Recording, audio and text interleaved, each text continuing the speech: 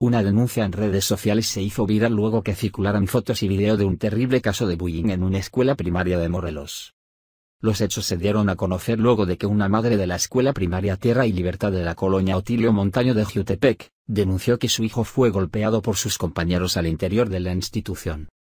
Tras hacerse viral el hecho, el Instituto de la Educación Básica del Estado de Morelos, IEBEM, informó que se llevará a cabo una investigación exhaustiva para conocer todas las versiones y deslindar responsabilidades de las partes involucradas, al tiempo que ofrecerá el respaldo y asesoría a la familia del estudiante afectado a través de la unidad jurídica del IEBEM.